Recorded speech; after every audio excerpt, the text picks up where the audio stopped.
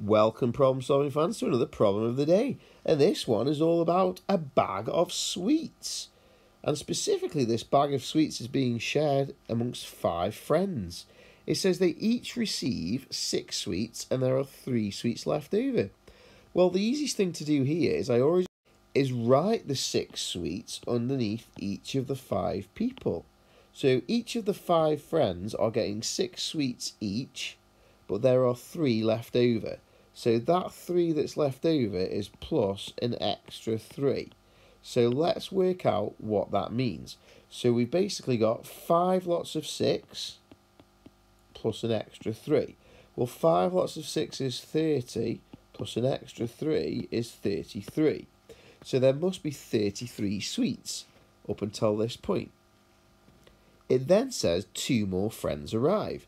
Now this makes 7 people now. So it says they share the sweets again between all seven of them.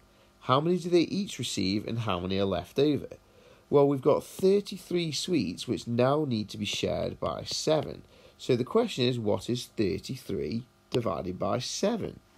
Well, 33 divided by 7, how many 7s go into 33?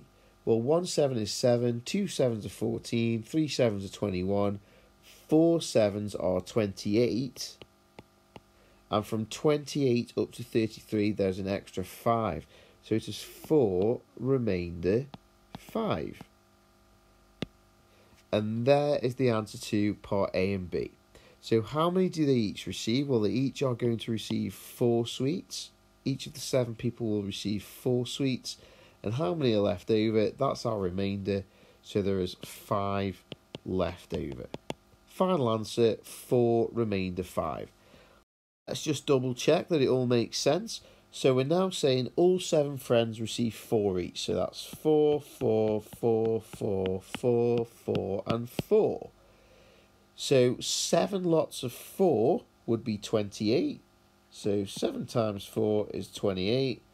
And we're saying that there is 5 left over. So 28 plus 5 is 33 sweets and we did say there was 33 sweets before.